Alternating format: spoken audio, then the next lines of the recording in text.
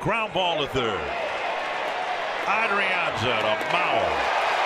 And Belisle gets his save after giving up a two-out double. Looked like a fastball that ran in. He came in on him, and I, I was worried as soon as I saw Castro go in there, but he made a great pitch, and good for Matt Belisle. He pitched great.